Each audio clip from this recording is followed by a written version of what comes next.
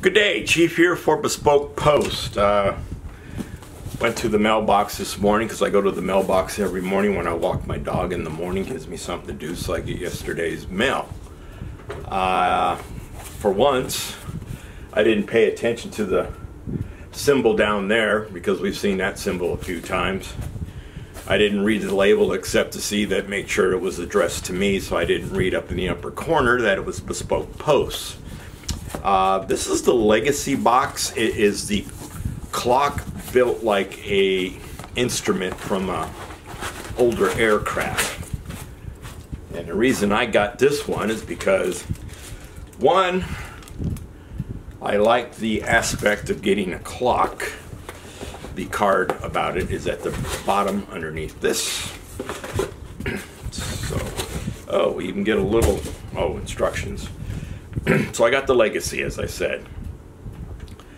Uh, let's see, a piece of history that fits on your mantle. I wish I had a mantle. I do have a fireplace, but I don't have a mantle. Haven't built one yet. Uh, this clock was designed by your friends at Pendulux, who were inspired by the World War II pilots' instruments. Their attention to detail and dedication to the craft comes through the robust cast aluminum and brass construction and the dial components are even designed to replicate parts from the authentic 1940s altimeter.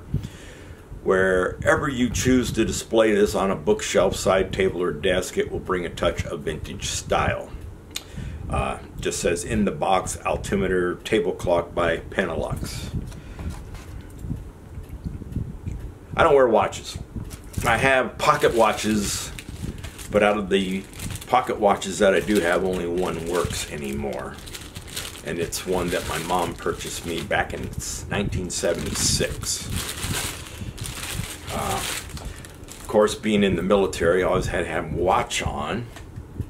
So at the end of my career, which ended uh, the last day of the year in 2013, but I had accumulated enough leave that actually I was no longer on going to work at the end of November. I came home, spent the month of December getting my house ready for my household goods coming from Georgia to uh, Texas, where I live. This thing's this thing is hefty, which is nice, so I'm not going to easily knock it over. So in the middle we have uh, 10,000 feet altitude. We got 0, 10, 20, 30 to represent the 30,000 feet. Uh, Pendulux, registered U.S. excuse me, registered U.S. Patent Office and millibars. Hmm. So there's no stamp on it to say made in America or, or made in anywhere. So I hopefully presume and assume that it's made in America.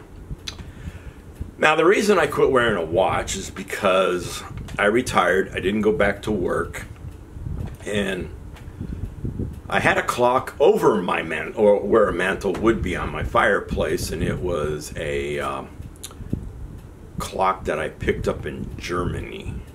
And even though it was a battery operated clock, one day, not due to the battery dying, it just stopped working. So for the longest time, the only clocks I had were on my microwave, on my stove, on my uh, clock radio that I have downstairs, on my coffee pot.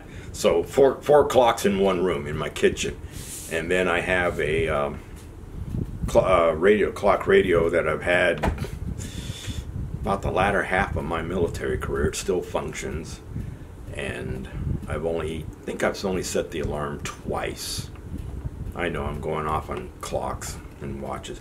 But I do wear a watch when I do go on vacation because, you know, sometimes you have to be at a certain place at a certain time, especially inside of a uh, airport or whatever. But most of the time when I even wear a watch on my wrist, I don't like it anymore, so I take it off and sit it in my pocket. And, and my pocket watch is too too mem memorable for me to take on a vacation and get it stolen or robbed from me. So I'll have to look at the instructions. Looks like we only have one knob down here at the bottom that actually operates the system. I mean, it looks nice. Excuse me. Does look like it came off of an instrument panel of a ship, or not a ship, but of an aircraft. Uh, I'm happy with it. Who knows? Maybe I'll get another one later on. Maybe I'll get one for a gift. Like I said, uh, bespoke. Wow. Tickle in my throat today. I don't know why. I mean, I was okay before the video started, and now I'm drooling a little bit. A little bit of spittle. Uh, I've been using Bespoke Post to get some Christmas gifts and sometimes other gifts. So, like I said, you know, hey, occasionally these things work. Uh, I do like it's going to sit at an angle. As you can see, it's got the bar down here to help protect your uh, operating knob. I like it. We'll see what I say next month. Good thing there's no alarm in this. I don't know if you can hear that. That's aluminum and brass. Something else to take care of brass wise. Ah, no big deal. Well, this is Chief for my August Bespoke Post box. I got the Legacy, which was the featured item, so I did not opt out this month. And I got myself a nice looking clock like I said, we'll see how well it works. And I really don't see if anything it detaches at the back, so maybe it is manual wind up all the time. We'll see. So this is Chief out. Remember, freedom's not free. Thank you very much.